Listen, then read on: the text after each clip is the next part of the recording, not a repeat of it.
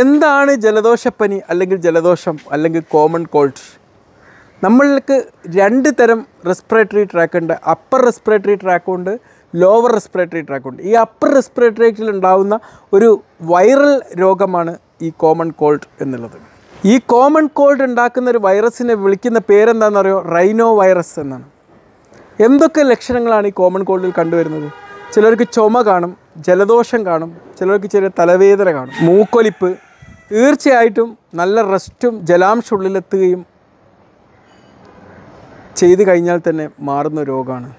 ഇന്ന് തന്നെ അങ്ങോട്ട് മരുന്ന് വെച്ച് നാളെ തന്നെ മാറും. അല്ല ഇന്ന് തന്നെ അങ്ങോട്ട് ചെയ്ത് നാളെ തന്നെ മറന്നു ചെയ്തു മൂന്ന് തൊട്ട് ഏഴ് ദിവസം വരെ ഇത് മാറാൻ സമയമെടുക്കും. ക്ഷമ കാണിക്കണം. ഇപ്പം ഞാനും അതിന്റെ ഒരു സ്റ്റേജിലാണ്. അതുകൊണ്ടാണ് നിങ്ങളോട് ഈ കാര്യം പറയാൻ എന്റെ സംസാരത്തിലൊക്കെ ഒരു മാറ്റങ്ങൾ കാണുന്നില്ലേ? കോമൺ കോൾഡ് എങ്ങനെ ചികിത്സിക്കാം? എങ്ങനെ നമുക്ക് അതിന് സപ്പോർട്ടിംഗ് ആയിട്ട് പ്രവർത്തിക്കാം എന്നുള്ളത്? നല്ലൊരു ചൂടുള്ള ചായ ഉണ്ടാക്കുക. എന്നിട്ട് അതിലേക്ക് കുറച്ച് തേൻ ഒഴിച്ചിട്ട് അങ്ങോട്ട് കഴിക്കാം. ബൈബിൾ ഓഫ് ദ ഡോക്ടർ എന്ന് പറയുന്ന ഹാരിസൺസ് ടെക്സ്റ്റ് ബുക്ക് ഓഫ് മെഡിസിനിൽ ഫസ്റ്റ് പറയുന്ന ട്രീറ്റ്മെന്റും അതാട്ടോ തീർച്ചയായിട്ടും ഇതിന് പ്രത്യേകിച്ച് ഒരു ചികിത്സയല്ല. നമ്മളെ ഇമ്മ്യൂൺ സിസ്റ്റത്തെ നമ്മുടെ രോഗപ്രതിരോധ ശക്- സിസ്റ്റത്തെ ശക്തമാക്കാൻ വേണ്ടിയിട്ടുള്ള കുറച്ച് ഭക്ഷ്യവസ്തുക്കൾ ഉപയോഗിക്കുക എന്നുള്ളതാണ്. അതിലിപ്പോൾ ഇതാണ് ഇതിന് ഞാൻ നിങ്ങൾക്ക് പറയുന്ന ഒരു ഫസ്റ്റ് ലൈൻ ട്രീറ്റ്മെന്റ് എന്നാണ്. പിന്നെ ജലാംശം നന്നായിട്ട് പിന്നെ വൈറ്റമിൻ സി നമ്മുടെ ഇമ്മ്യൂൺ സിസ്റ്റത്തെ സപ്പോർട്ട് ചെയ്യുന്ന ഒരു സംഭവം വൈറ്റമിനാണ് അതുകൊണ്ട് ധാരാളം ഓറഞ്ച് പോലത്തെ സിട്രസ് ഫ്രൂട്ടുകൾ ധാരാളം കഴിക്കുക. അതിൽ പിന്നെ ചിക്കൻ സൂപ്പ് കുടിക്കുന്നത് ഇതിന് ഇത് ചികിത്സിച്ച് ഭേദമാക്കാൻ സഹായിക്കുമെന്ന് വെച്ച് കഴിഞ്ഞാൽ തീർച്ചയായിട്ടും ചിക്കൻ സൂപ്പ് നമ്മുടെ ഇമ്മ്യൂൺ സിസ്റ്റത്തെയും ഒക്കെ സപ്പോർട്ട് ചെയ്യുന്ന ഒരു സംഭവമാണ്. അതെല്ലാം ധാരാളം ജലാംശം ഉള്ളിൽ ചെല്ലും. പിന്നെ പ്രോട്ടീനൊക്കെ ആവശ്യത്തിന് ചെല്ലിക്കും. അതുകൊണ്ട് ചിക്കൻ സൂപ്പ് കഴിക്കുന്നതുകൊണ്ട് കുഴപ്പമില്ല.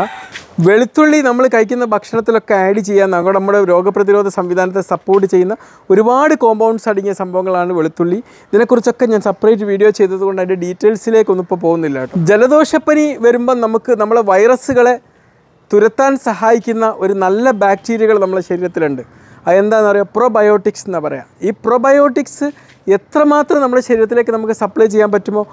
അത്രയ്ക്കും നമുക്ക് നമ്മുടെ വൈറസുകളെ തുരത്താനുള്ള അവയെ തിന്ന് നശിപ്പിക്കുന്ന ഒരു സംഭവമായിട്ട് ഈ പ്രൊബയോട്ടിക്കുകൾ പ്രവർത്തിക്കും. അപ്പോൾ പ്രൊബയോട്ടിക് അടങ്ങിയ ഭക്ഷണം വസ്തു ഏതാണെന്ന് നിങ്ങൾക്ക് സംശയം ഉണ്ടാവും.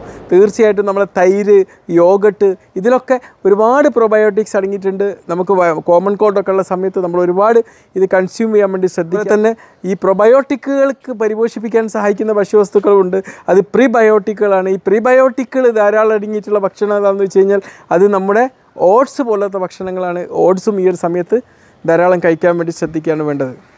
ഓട്സ് പോലെ തന്നെ മറ്റ് പല ധാന്യങ്ങളിലും ഇത് പ്രിബയോട്ടിക്കുകളായിട്ട് പ്രവർത്തിക്കുന്നുണ്ട്. അവയും നമുക്ക് കൺസ്യൂം ചെയ്യാം. പിന്നെ ഇതുപോലെ തന്നെ നല്ല ഒരു ഇമ്മ്യൂൺ സിസ്റ്റം ശക്തമാക്കാൻ സഹായിക്കുന്ന മറ്റൊരു സംഭവമാണ് ഇഞ്ചി.